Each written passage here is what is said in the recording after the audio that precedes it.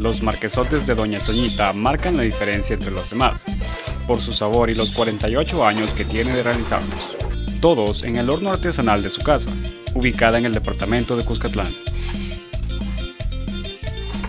La elaboración y venta de marquesotes ha sido la fuente de ingresos que desde hace casi medio siglo ha permitido a Petrón Hernández o Doña Toñita sacar adelante a su familia, a quienes les ha enseñado el oficio y piensa heredarles el negocio. Actualmente elabora marquesotes junto a sus hijas, quienes son las encargadas de la preparación de la masa, para que Doña Toñita solamente se encargue de darle el toque perfecto en el horno. En el caserío Los Chávez, de donde Doña Toñita es originaria, la mayoría de sus habitantes se caracterizan porque subsisten de la elaboración de este pan dulce.